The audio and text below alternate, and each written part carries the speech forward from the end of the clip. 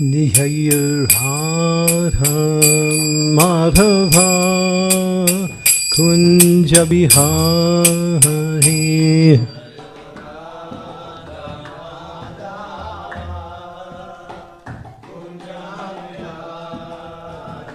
Jai Radha Madhava Kunja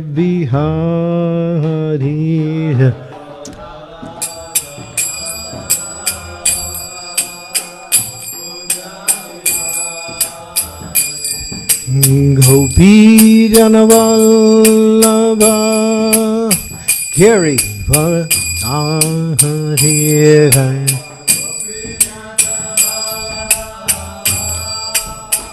Giri Jaya Gopi Janavallabha Giri Varadari Yasodhanandana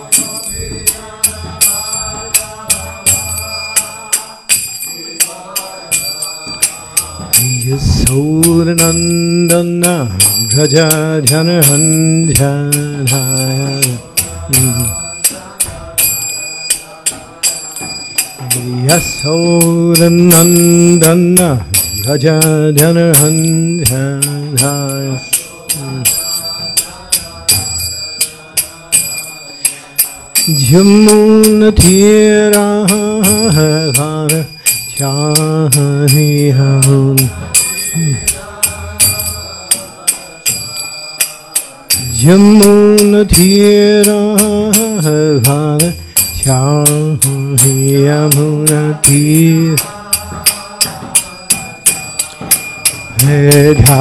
Radha Madhava Kunja Bihara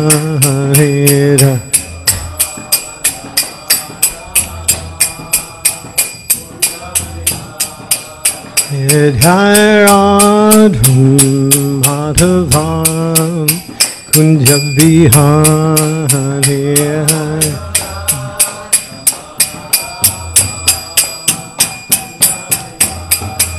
Jaya Gopi Janavallabha Girivara Dhaya Gopi Janavallabha Giri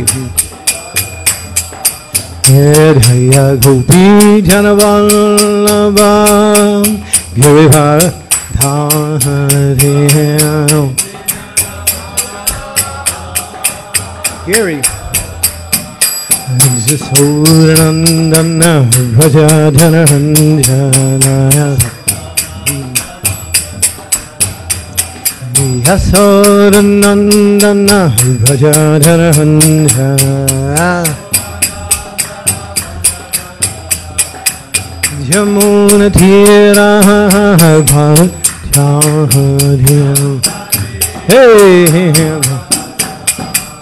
Jamuna Thira Bharatyahdhyam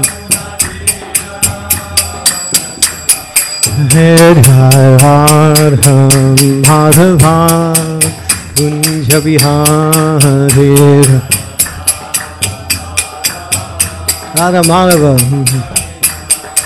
Radha Madhava Hedhayarham Madhava Kunja Vihari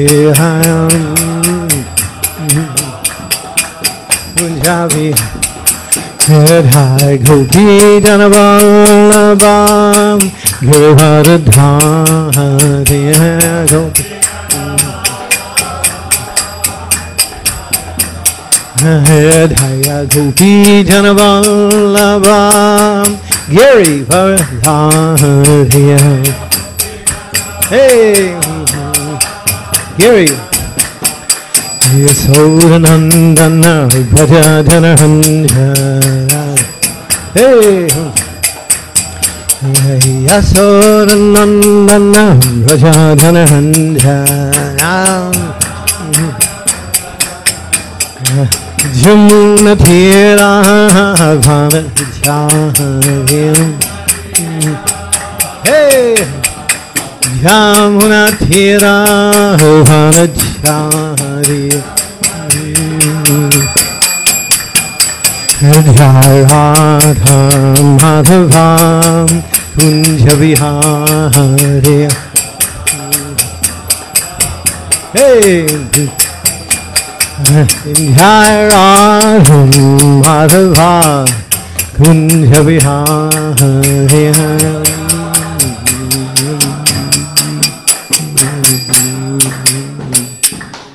Gaur Premanande Prabhupada ki. Om Namo Bhagavate Vasudevaya.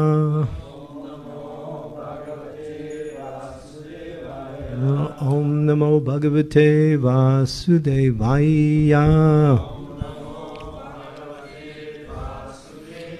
Om Namo Bhagavate Vasudevaya.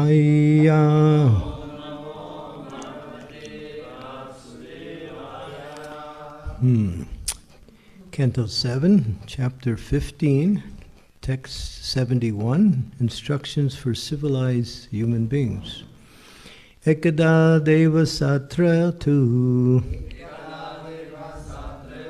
Gandharvapsarasam Ganaha Upahuta Vishwasrigbabir Hari Gatopagayane Hari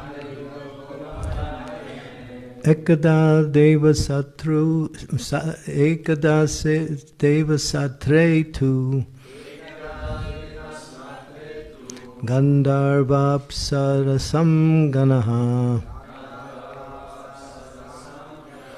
उपहूता विश्वाग्सृग्भिर् हरिगत पगान्यने। एकदा देवशात्रेतु गंधर्व सप सप्रसंगनः उपहूता विश्वासृग्भिर् हरिगतोपगायने.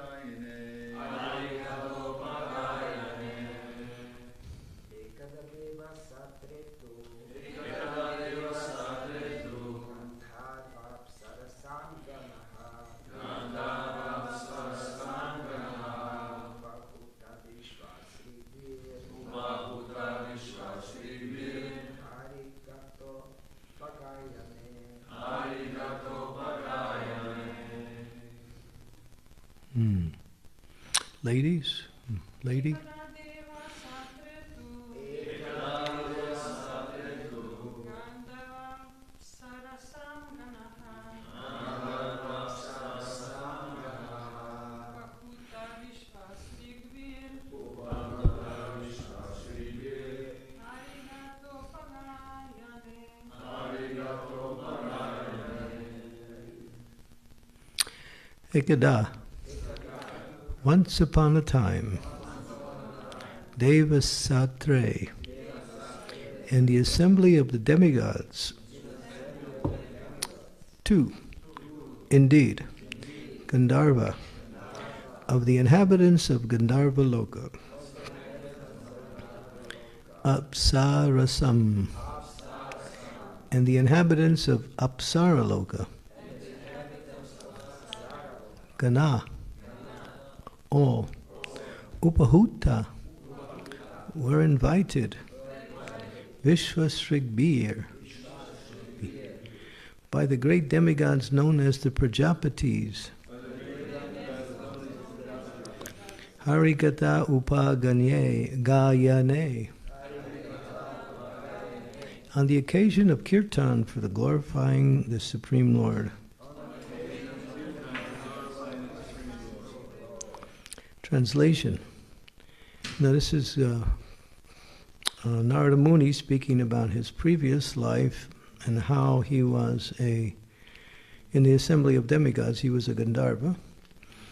Once there was a Sankirtan festival to glorify the Supreme Lord in the assembly of the demigods. And the Gandharvas and the Apsaras were invited by the Prajapatis to take part in it. Hmm. Purport, Prabhupada's purport's quite interesting. Sankirtan means chanting of the holy name of the Lord. The Hare Krishna movement is not a new movement as people sometimes mistakenly think. The Hare Krishna movement is present in every millennium of Lord Brahma's life, and the holy name is chanted in all of higher planetary systems, including Brahmaloka and Chandraloka, not to speak of Gandharvaloka and Apsaraloka. The Sankirtan movement that was started in this world 500 years ago by Sri Chaitanya Mahaprabhu is therefore not a new movement. Sometimes, because of our bad luck, this movement is stopped.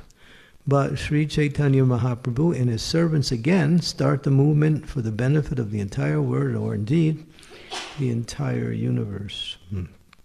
Om Agyan Timidandasya Gina Jana Salakaya चक्षु उन्मिलितं येन तस्मै श्रीगुरवे नमः। श्रीचैतन्यमनोभीष्टां स्थापितं येन भूतले। स्वयं रूपा कदं मह्यं ददाति स्वापदान्तिकं। नमा ॐ विष्णुपदाय कृष्णकृष्णाय भूतले। श्रीमक्तिभक्तिवरादशामेति नामिने। नमस्ते सरस्वतीदेवे गौरवनिपचारिणे निर्विशेष शून्यवारी पश्चात्यरे सतारिणे पञ्चकौपाथरुभ्यश्च कृपसिन्धुभैवच पतिथानं भावनेभ्यो नवेभ्यो नमो नमः। श्रीकृष्णचैतन्या प्रभु Nityanand Shri अद्वैतगदाधार Shiva Shri श्रीगौरभक्तवृन्द Hare Krishna, Hare Krishna, Krishna Krishna, Hare Hare, Hare Rama, Hare Rama, Rama Rama, Hare Hare. Hmm. The word uh, Sankirtan has two meanings. We are pretty much commonly known as to come together to glorify the Lord, but it has another meaning also. Uh, I'll go back another step. The word kirtan comes from the etymological root word known as kirti. And the word kirti means fame. So kirtan means to glorify the all famous personality of Godhead. and Sankirtan means together, but then San also has another meaning. It means complete. There is no more complete way perfect way to glorify the Lord than by Sankirtan. Coming together to glorify the Lord by chanting His glories. and there's another meaning that we can also apply to those who perform Sankirtan. Those who actually perform Sankirtan are also considered to be glorious. so there's many ways you can look at this particular terminology. Here, as Prabhupada also indicates, that this Sankirtan is something that is eternal. It's been going on from time immemorial. And here we see about an incident that happened, oh, like you might say millions of years ago by our calculation. In the heavenly planets, the Prajapatis decided to invite people from other heavenly planets to have a festival to glorify the Lord. And people came from Gandharvaloka, Chandraloka, Apsaraloka, Brahmaloka, all came together. And Narada Muni, Upabarhana, in his previous life, was a Gandharva. And he, he was very beautiful, and he also had a very beautiful voice. And so, singing in the assembly of all these great personalities, he deviated from the focus. Instead of singing the glories of the Lord, he started to sing the glories of the demigods. and that became a point of contention, and not contention, but everybody was unhappy, and therefore some of the key demigods decided to correct him in such a strong way that they actually cursed him that in his next life he would be a Sudra and he wouldn't be so attractive. so that was a big offense when you're, one is there glorifying the Lord and shifting it to the demigods. Because Krishna says in the in the Bhagavad Gita, one who worships the demigods are actually mm-hmm, hitagyan. Their intelligence is stunted. They are removed from good intelligence. As Prabhupada says, alpametasa, that, that brain substance that is more like cow dung. so this, is, this was a great offense, and therefore he had to fall. Now he's describing. And it says it's interesting because he was able to remember his way, his pre- previous life, and then how he fell from that more elevated position and had to come down to the earth planet. And then again, work his way up. But then again, you see when you're when you're cursed by great souls, there's always some benediction within the curse. You saw that with Nala Kuvera and Manigriva, how they were cursed by Narada Muni for walking around like trees and then they became trees. But they became trees in such a place that they had the got the darshan of the Supreme Personality of Godhead personally, and was be able to become purified by that darshan. So there was a obviously a benediction, and this is how great souls curse. They don't simply punish, but they punish in such a way. You see also when uh, Garuda was chasing uh, Kaliya out of the ocean because Kaliya was eating the fish that Garuda was, was supposed to get. And uh, yeah, he cursed him, and he, he actually tried to, you know, finish him off. But he wound up meeting Krishna in Vrindavan, and he became purified because Krishna danced on his head.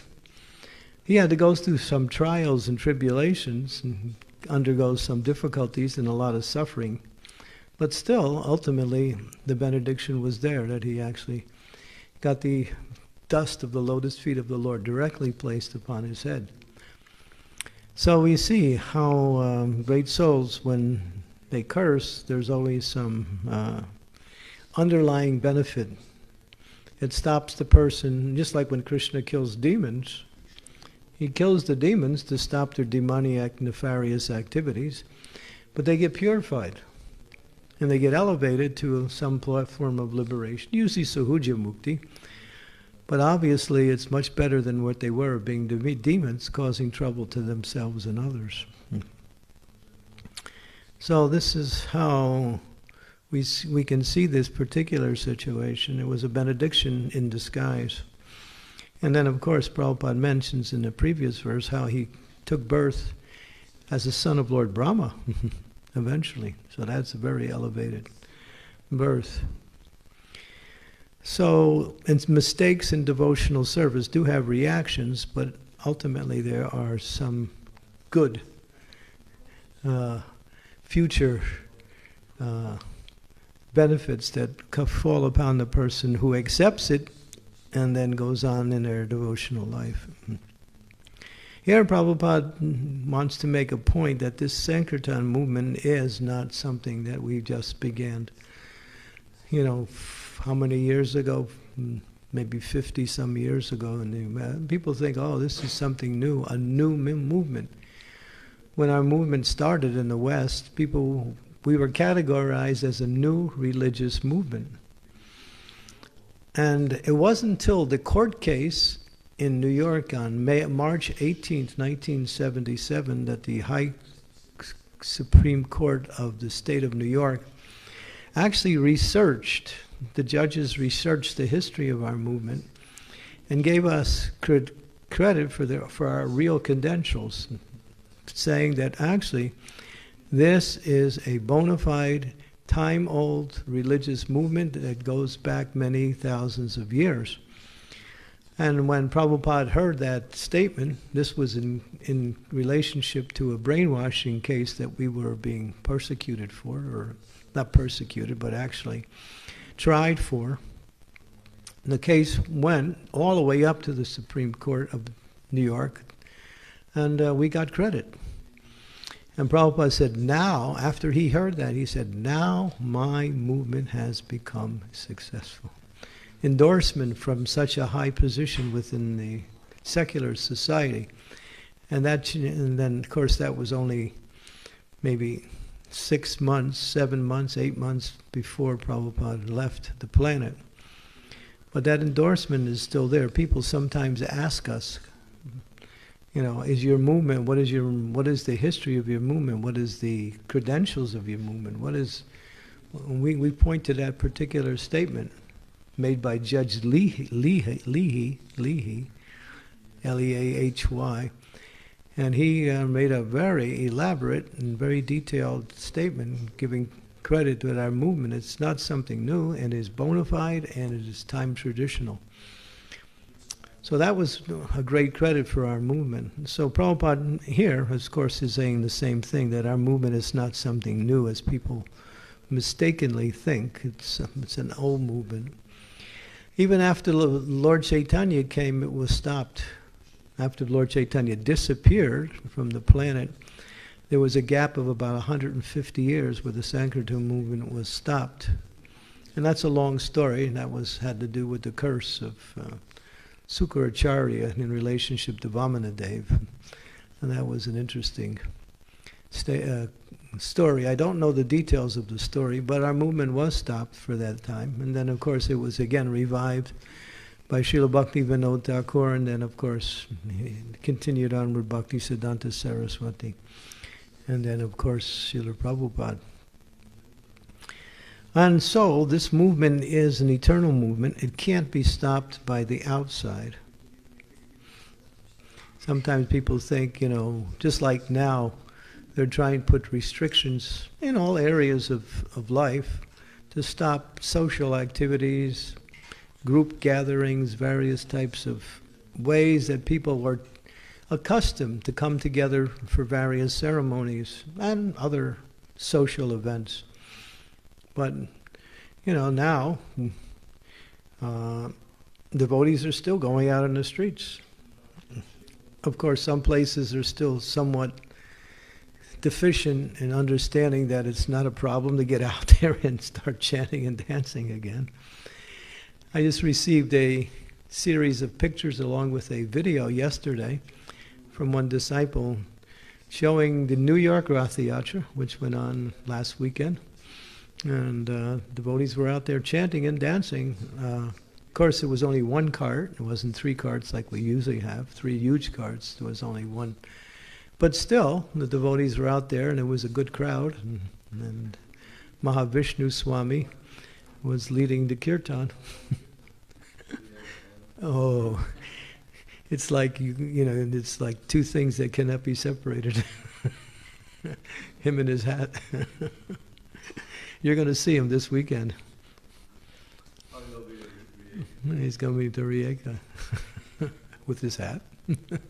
I'm sure. Yeah, he's coming. Yeah, along with uh, three others, five sannyasis this weekend are going to be there. Yeah, Kadambakana Maharaj, Bhakti Ananda Goswami Maharaj, four and a half sannyasis, Prahladananda Maharaj, Vishnu, Mahavishnu Swami, and somebody else. Um,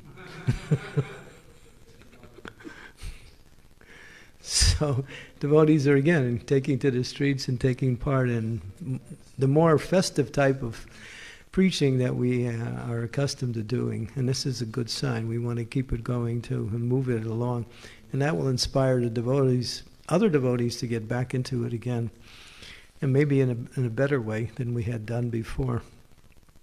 So we, this movement cannot be stopped. Sometimes we think, you know, by uh, that the demons can stop this movement, but Prabhupada always said many times they will try, but they can never succeed because it's ordained by Lord Chaitanya. And even and here it says, Prabhupada said, because of our bad luck, sometimes, because of our bad luck, this movement was stopped. But then again, Lord Chaitanya's servants and him again started the movement. So just say it's stopped again for whatever reason. It'll be again restarted by Lord Chaitanya's servants again. It can never be stopped. It's an eternal movement, and it's meant and is ordained by the Lord to change the entire face of the world and bring real spirituality onto the globe of this world. The way it looks like now, you can't really see it. There's indications that things are happening, but still at the same time we have the words of the acharyas and the words of the Lord himself. You know. When uh, Chand Kazi tried to stop the Sankirtan movement many hundreds of years ago, and when Lord Chaitanya was present, uh, Lord Chaitanya was like Nrsingadev. In fact, Lord Nrsingadev appeared in that particular pastime to let you know Chand Kazi know that you know you don't mess with my devotees. You know, you don't try to stop my movement. And uh, Chand Kazi got the message, really quite direct. So this same, so Lord Chaitanya, I mean, he organized Harinam Sankirtan in such a powerful way that millions, not just thousands, millions of living beings appeared from all places in the universe to take part. And this is also true that our movement now, when we do programs, if it's grand and very special programs, the demigods come, but they come in disguise. We don't know them. They might look like just another part, person in the in the assembly. So they actually take part.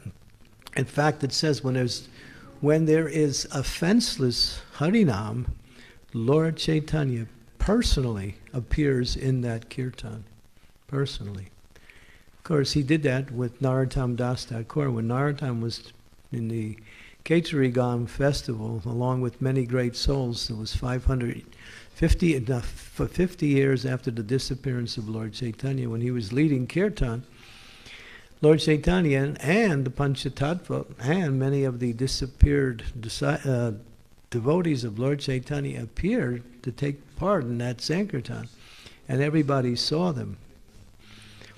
But the Lord is also appearing, and his devotees are also appearing in these kirtans, just like when Prabhupada uh, had a program in New York, and devotees, and this was in back in 1966, 65, 66, something like that. Uh, devotees wanted to make Prabhupada's Prabhupada public. So they had hired in this hall, which had many hundreds of seats in it. They put posters all over New York City, you know, at least in one area of New York City, advertising the Swami from India with some, you know, going to teach the science of Bhakti Yoga. And uh, so they advertised as much as they could. But when the event actually came, only seven people came. And so the devotees were feeling unhappy that they failed. You know, only seven people came. And so at the end, they expressed their unhappiness to Srila Prabhupada. And he said, No, actually, you, you didn't see Narada Muni. He was here. Narada Muni was here. Somebody also said that, a few people said that during the opening of the palace in New Vrindavan also, and many great personalities appeared for that particular opening of the palace in 1979 in New Vrindavan. And every uh, person who was in the position of guru at that time appeared for that opening all the 11 gurus. I think it was nine at the time, maybe it was 11. It was 11, yeah. Were you there also? Did you come for that opening? Yeah. I wasn't even there. It was my birthday, actually. And that was the opening day was my birthday, but I was, I had to stay back and do puja that day. he wrote that article? Oh, nice. And the, yeah, so that's, uh, I guess it's in that same area, 1979, yeah. Yeah, that was a grand festival, and many people said it was quite mystical, the whole atmosphere during that time.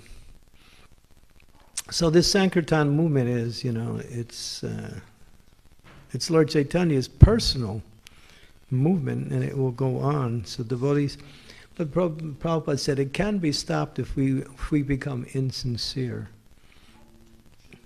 If we become insincere, it'll be stopped and then it will have to be revived again. So we always remain sincere. What does that mean? He said, be very strict in following the principles and chanting every day your 16 rounds. That strictness is actually the foundation for us to remain enthusiastic in Krishna consciousness. Sometimes devotees, after many years, for whatever reason, start to minimize the importance of chanting rounds. And for other whatever reason, they and uh, we've seen that even in the early days, there were devotees who had many, many responsibilities with services. And Jai, Shri Shri Panchatattva Jai. And uh, they decreased their rounds and, and even some cases stopped chanting so they could do their services.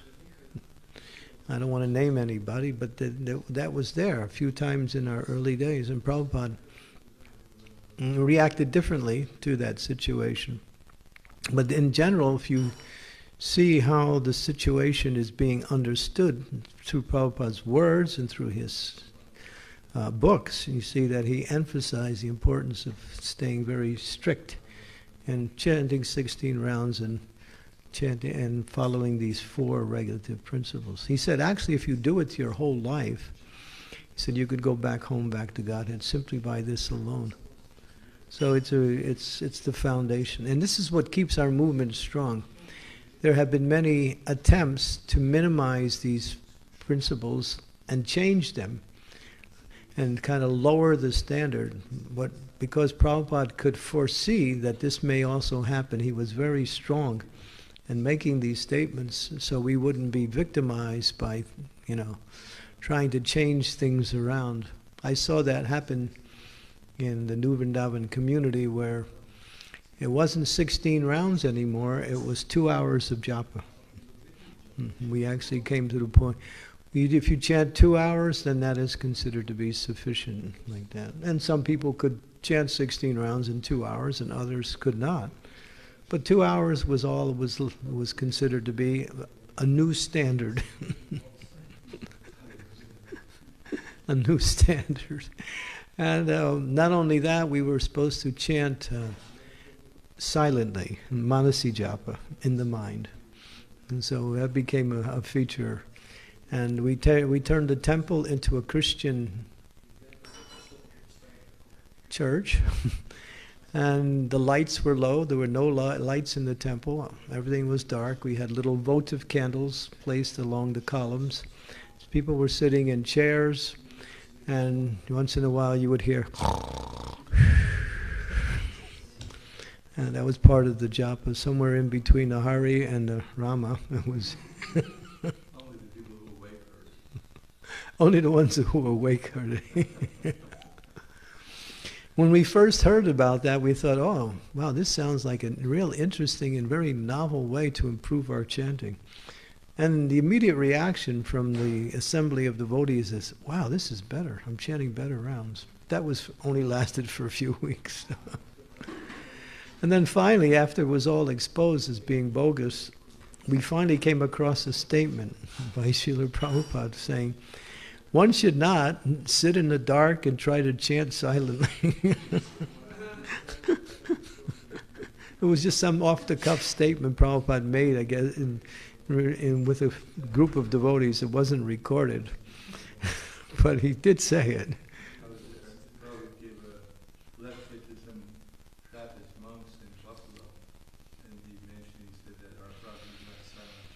not. Yeah. allowed to hear. And Prabhupada also says that when if you're disturbed, and most of us are, he said chant loudly.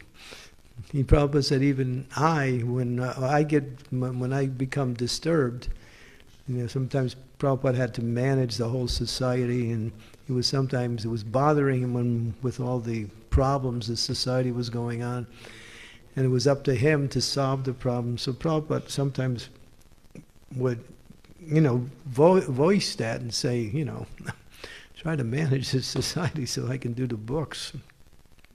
But then he would say, you know, when I get like that, I chant loudly. I chant loudly. He said, when you chant loudly, ghosts, demons, and disturbances all go. they all run away, far away, like that.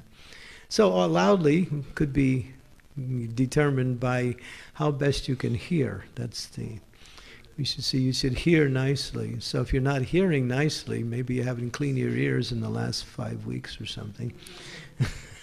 and so you might have to chant a little bit louder to get through all that debris that's there. so So yeah, so therefore, you know, we should definitely have to emphasize this importance of hearing very nicely. But we should understand, and this is a very important verse, that this movement can be stopped. But Prabhupada said only by from within. If our society starts to go like, like Prabhupada said, we are not simply a comfortable society. We have our temples, we have our worship, we have our prasadam, we do our little festivals, we're happy, everybody smiles at each other, thanks each other, goes home and watches television. That's not our move. Our movement is to expand. That means we always have to be in that move how to increase this movement, how to bring more souls in and how to increase the quality of whatever we're doing. It's always in the mood of expansion. And that's what keeps the movement vibrant because if we don't have that mood of mood of expansion, we will get complacent, get ordinary, we get mundane, we start bringing in material principles and thinking they're spiritual. You know, good material principles to help improve the quality of our, you know, the way we do things, rather than keeping the focus on the essence, and that is hearing and chanting the glories of the Lord and preaching. Harinam Sankirtan. And of course, uh, see, she's okay, she can stay. You can go, but she can stay. no, don't do that. she wants to say something to Avaduta, but Okay, so yeah, this is so our this this process of chanting and dancing and distributing prasadam. You see, every time, just like last night, we had a program here. Twenty plus people came for the program. What did we do? We had discussions, we had chanting, and we gave prasadam. That's our power. That's what attracts people, and that's what that's what gives our movement life. We emphasize that. And of course, whatever else we're doing, we should also do it in the best possible way. Deity worship and organ, organizing our devotees in such a way that we can maximize the amount of energy and time to move devotees along in their Krishna consciousness. So there's many emphasis, but it all centers around hearing and chanting the glories of the Lord. Okay, so we'll stop there. I don't know if there's any questions, but we'll just ask just in case. any questions? Avaduta Roy? Is it in English? Oh, English. He actually wrote me on my email too. Hari Krishna. I thought the lecture on will be on Sloka 70. Perhaps it was not given public. But I have a few questions on the topic of the previous sloka. Okay, I'm happen to have it right here. In Srimad Bhagavatam 7.12, woman is compared to fire and man, and the word pramada is there as well, which can also mean mad. Can we compare women to madness? It makes man mad of lust. So, what, is there a question, or is this that just a statement? It's a question. What is the question? So women is compared to fire. Right. Man is compared and to the word butter. mada is, is there as well. It can mean mad. In other words, can we compare women to madness? Mad. Which, which makes man mad of lust. Somebody's just playing with words. Okay. Second question. Why? Prabhupada never said women were mudda. He said, they, you know, he, he, gave, he gave them credit, but he also said they were like butter, No, like no, fire. They're, they're like fire. fire, and men are like butter. You come together and melt, and they do. They can make men mad unless you chant Hare Krishna. And then you be, then you don't become mad for them. You become mad for Krishna. Why in the Chaitanya Charitamrita the woman is compared, considered to be only half a soul? Like, for example, Lord Chaitanya had three and a half co- confidential associates. The half refers to Madhavi Devi. Right. Okay. I think you should ask Lord Chaitanya for the answer. I'm sure he can give you a better answer than I could. Um, there's no purport, explanation given anywhere that I know of, just to qualify it, about why that statement is made in that, in that way. The Sikhi Mahiti, Swarup Goswami and Ramananda Roy were the three. Sikhi Mahiti's sister was Madhavi Devi. so you might say, I don't know. I, I, I don't want to speculate because it doesn't, all the speculation is just, it's all speculation. So um, I can't really give an answer to that unless somebody else wants to try. Maharaj, you want to try that one? Huh?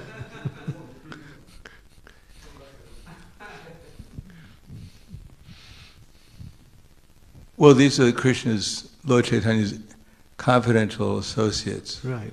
So externally, Chaitanya Mahaprabhu didn't associate with women. Hmm. He, he avoided it. Therefore, although she was obviously, it didn't matter whether you were in a man or female body in terms of being a confidential associate. Like Jahnavi Devi Right. was the acharya of our society, so it didn't matter that Madhava Devi was in a woman's body. There was no qualification. But because Chaitanya Mahaprabhu's associates, she had to have some distinction being a woman because he, Chaitanya Mahaprabhu was a sannyasi, and therefore she couldn't be included as a full associate, but as a half associate. Oh, half a Oh, very good explanation. Yeah. Makes complete sense. Half a, s- yeah. And there's no really any written uh, account of that association either. Mhm. Anything else?